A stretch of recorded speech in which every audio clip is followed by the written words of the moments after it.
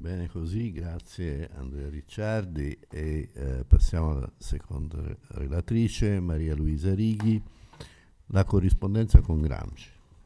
Prego. Grazie Silvio, grazie alla Fondazione e, e grazie per avermi sollecitato a misurarmi con queste lettere che pensavo di conoscere non fosse altro per aver collaborato all'ultima edizione delle lettere da carcere che ha curato Francesco Giasi per Einaudi.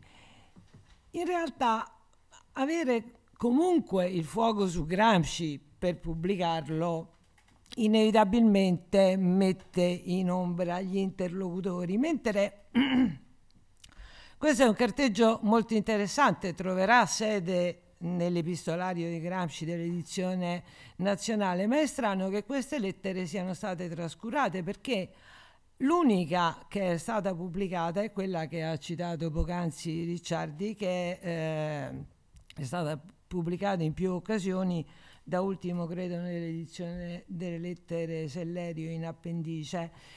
E invece è diciamo una fonte eh, pressoché sconosciuta che io eh, vi vorrei illustrare. È un carteggio che eh, si eh, comincia e si esaurisce tra il 27 e il 28 e mm, sono entrambi due scri- eh, scriventi privati della libertà dal novembre del 26. Gramsci è nel carcere di San Vittore a Milano, Berti è al confino a Ustica dove è arrivato dopo che Gramsci era già andato via e per una parte sarà anche lui in carcere come vedremo. Come ci racconta Berti nell'unica testimonianza che ha rilasciato su Gramsci, che è quella già citata a Mima Paolescu Guercioli, si erano visti l'ultima volta un, nel transito eh, del carcere del Lucerdona a Palermo, uno destinato a Pantelleria e Gramsci a Ustica e fu l'ultima volta che si videro, dopodiché la loro eh, relazione fu soltanto epistolare. Dopo quell'incontro, il 20 gennaio, Berti manda una cartolina insieme ad altri confinati, ma la scrive lui, con un motto di Giovenale no, lascio perdere la citazione, la censura risparmi i corvi e tormenta le colombe, che aveva scritto a Gramsci e Bordiga. È datata 20 gennaio 27. Eh, lo stesso giorno Gramsci viene arrestato a Ustica per essere portato a Milano e qualcuno corregge l'intestazione e verrà inviata a Gramsci a Milano e infatti è conservata in archivio. Il 29 marzo eh, Berti fu trasferita a Ustica con poco tempo dopo lo raggiungerà anche Maria Baroncini con la bambina Vinca, non prima essersi sposati per procura, eh, perché altrimenti non avrebbe avuto diritto. Appena arrivato sull'isola, Berti è inserito nel corpo insegnante della scuola. Ora, come chiunque sa, chi abbia letto Lettere dal carcere, la scuola di Ustica viene organizzata insieme a Bordiga subito appena erano arrivati. Prima erano soltanto una trentina di confinati, ma già il 2 gennaio del 27 erano una sessantina, diventeranno centinaia. Bordiga dirige la sezione scientifica, io, scrive Gramsci a Sraffa, la sezione storico-letteraria. Da allievo Gramsci segue anche il corso di tedesco e lui invece tiene tre lezioni di storia antica relative alle remote civiltà orientali dei Sumeri e degli Ittiti, dirà Mario Lauriti in una testimonianza. Interrotta bruscamente l'esperienza della scuola, Gramsci però da San Vittore vuole seguirla e comincia a scrivere ai compagni confinati.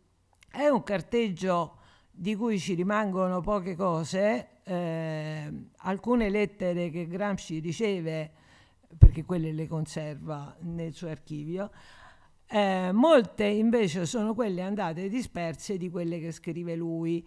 Di una dozzina lo sappiamo per certo perché vengono nominate nelle responsive, ma se noi facciamo il calendario delle lettere di cui Gramsci ha diritto, che sarebbe in qualità di detenuto eh, inquisito, due lettere a settimana, ci sono addirittura una decina di turni di cui non abbiamo nessuna lettera, neanche ai familiari. Vuol dire che sono una ventina di lettere mh, mm, al momento perdute.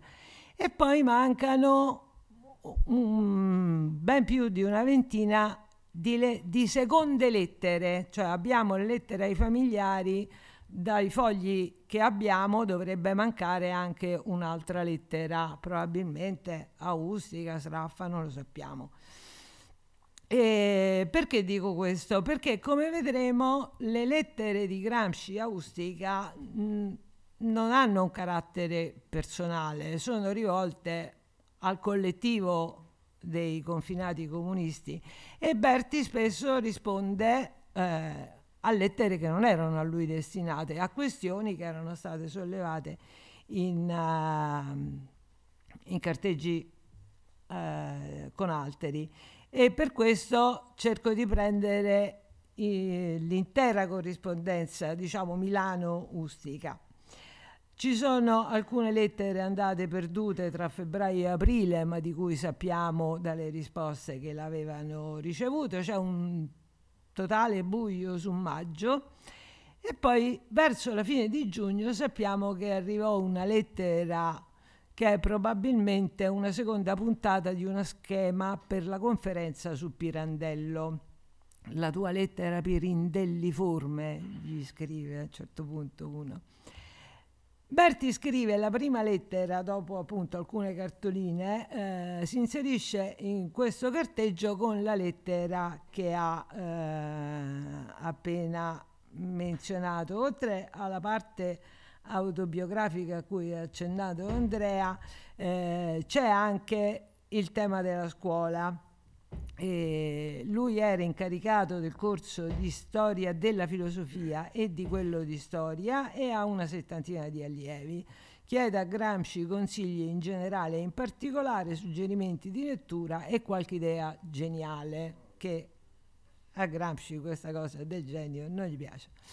E, e, poi eh, gli dice anche che erano arrivati il professor Parri del Corriere della Sera e il professor Rosselli del Quarto Stato. Ma per non dare loro l'incomodo di dover accettare il corso di storia, l'ho preso io. Ora, eh, Gramsci eh, gli chiede se il Parri menzionato sia quello che si era laureato a Torino tre anni prima, insomma fa un curriculum perfetto di Ferruccio Parri, eh, ma Berti non si capisce se perché Gramsci sbaglia e lo chiama Francesco o per altri motivi nega che siano la stessa persona. Gramsci aveva suggerito che al molto valente studioso Parri gli doveva essere assegnata qualche conferenza sul risorgimento. I confinati gli daranno invece un corso di storia dell'arte. Eh, anche Rosselli viene utilizzato per i suoi libri e per il materiale, ma anche a lui non gli vengono assegnati i corsi.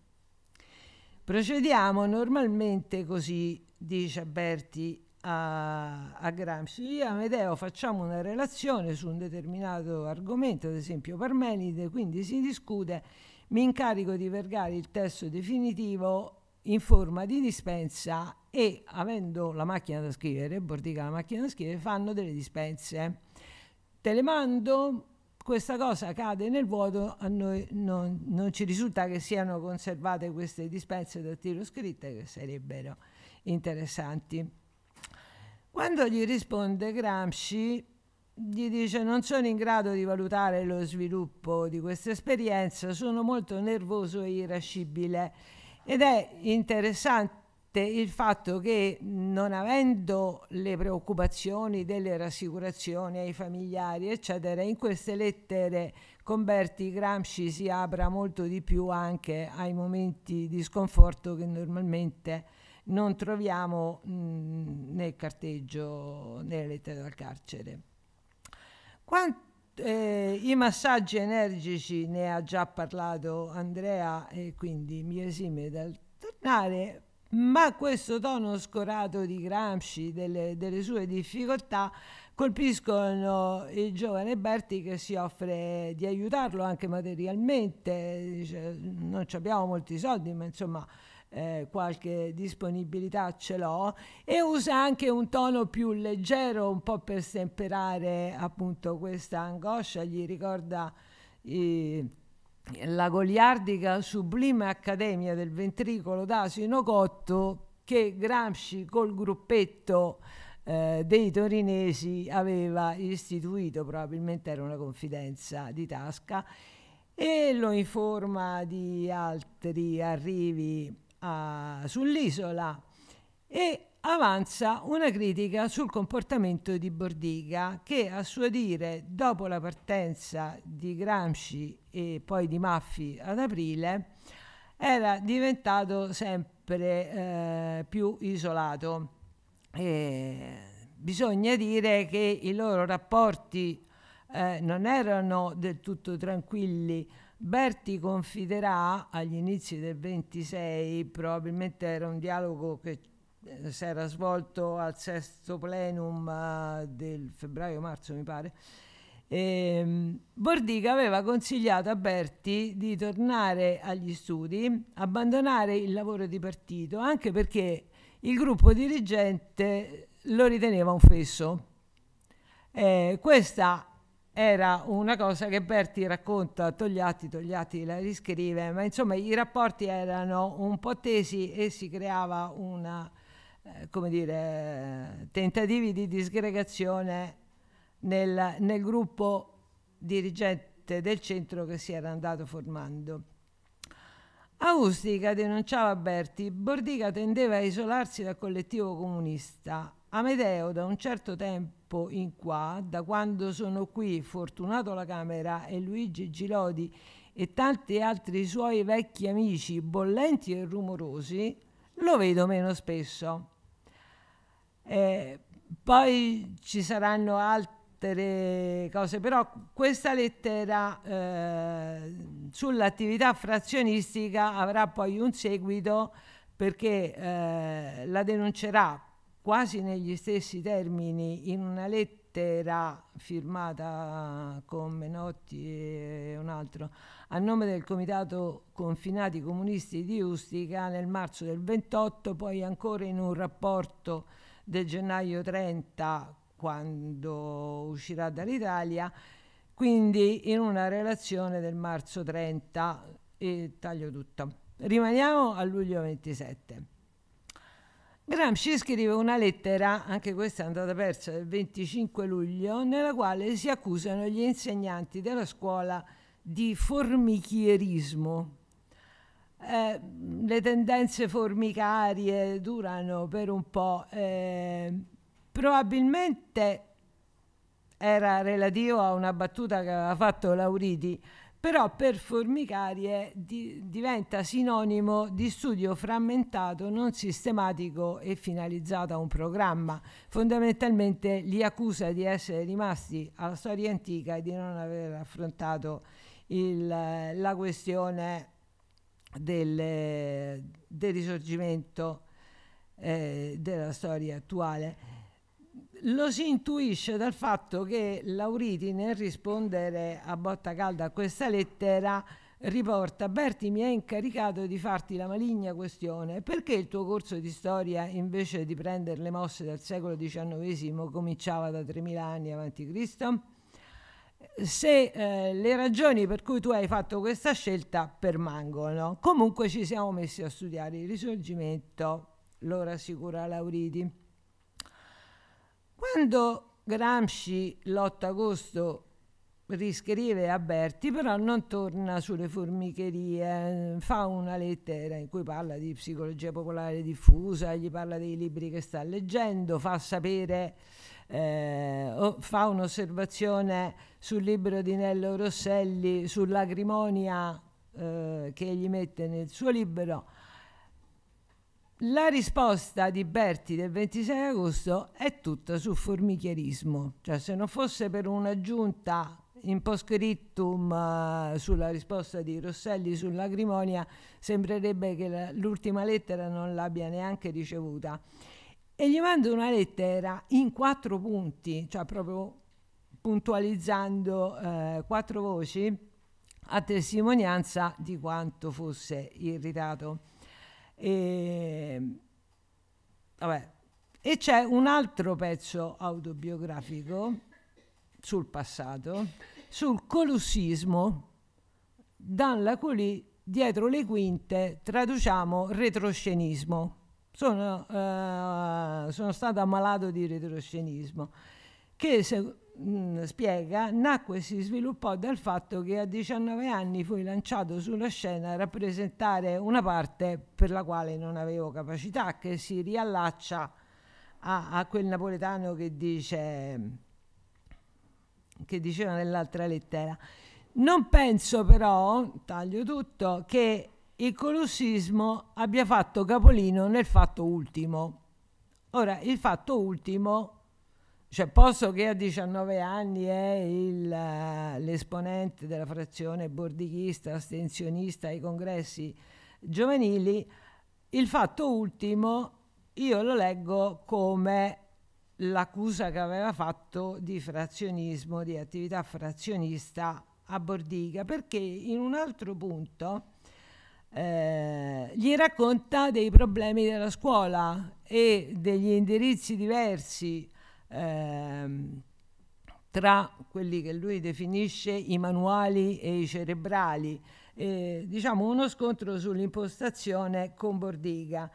Non una culisse ma un'opposizione aperta contro il meccanicismo e l'elefantiasi della scuola e soprattutto al fatto che chi avesse voluto anche studiare da sé fuori dalla routine sarebbe stato fatto segno di ingiusti di leggi e sarebbe passato per un intellettualoide. Uno studio in profondità diveniva impossibile oggetto di dileggio donde il mio apologo innocente sulla formica e sull'elefante.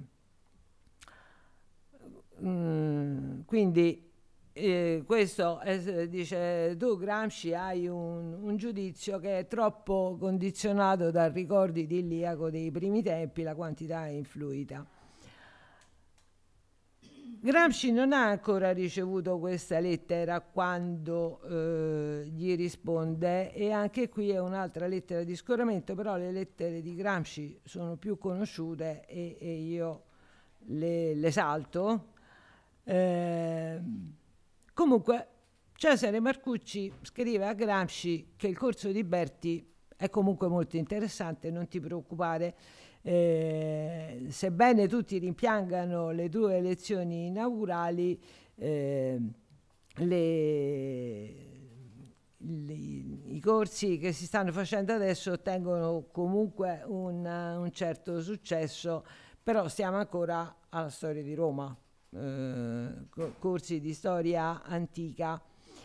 Eh, anche qui eh, lo scoramento di Gramsci produce una eh, risposta eh, consolatoria, più leggera, eh, che non riprende i temi polemici eh, in sostanza. Eh, parla eh, molto bene del, dell'avvocato Carlo Mauro, che è un, un anziano del 1871, che però ha ancora la passione di un ventenne.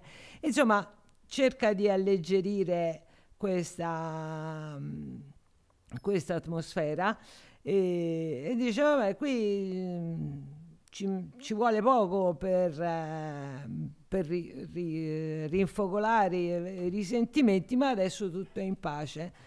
Ma è una pace che dopo neanche due settimane viene interrotta dall'irruzione della polizia. Si crea una, un caso, mh, mm, in, insomma, conflitti interni ai fascisti che si volevano mostrare, i confinati di Ustica vengono accusati di ricostituzione del, del Partito Comunista e vengono operati numerosi arresti, tra cui Bordiga, Berti e eh, altri 57 eh, confinati e una guardia. Ehm, fanno un sacco di, cioè, imbastiscono un processo, sequestrano un sacco di materiale eh, che non aveva alcun valore giudiziario che però noi storici apprezziamo perché sequestrano lettere, diari, poi eh, canzoni rivoluzionarie, eh, tutto il materiale della scuola, compreso l'elenco della biblioteca. E, e vengono tutti arrestati e portati a Luccerdone. Uh, un compagno scrive a Gramsci in cui gli spiega che eh, li hanno arrestati ma niente di più, si trovano in carcere. E, ehm, tant'è che eh, poi la conversazione continua. 10 minuti.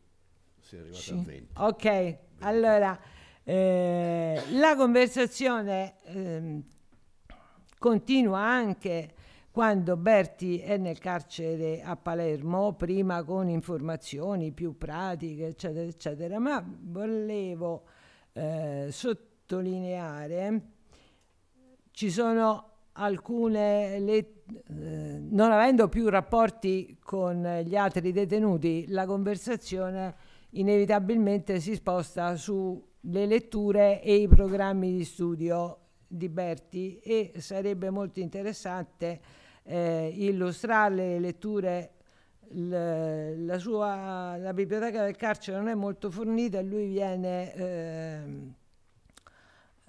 gli vengono prestate le opere dal cappellano così legge Ardigon, Maritain eh, e poi Proudhon mm, anche lui dice mi sono messa a razzolare nei letamai cercando di eh, studiare la letteratura minore nel suo caso un libro di scuola elementare eh, e così via.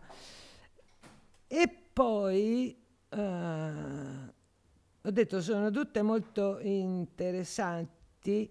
L'ultimo scambio di lettere, eh, Berti scrive da Palermo il 7 maggio rispondendo a una lettera di Gramsci che non c'è in cui però lui eh, rispondendo mette tra virgolette il quesito che gli aveva posto Gramsci, perché mai in Sicilia a differenza delle altre regioni ci sono più protestanti, eccetera, eccetera.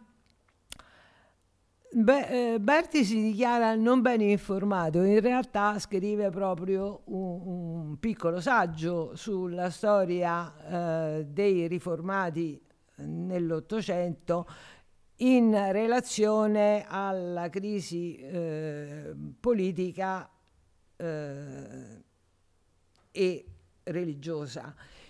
Non eh, ve la posso illustrare, ma insomma è, è veramente molto interessante e anche lunga.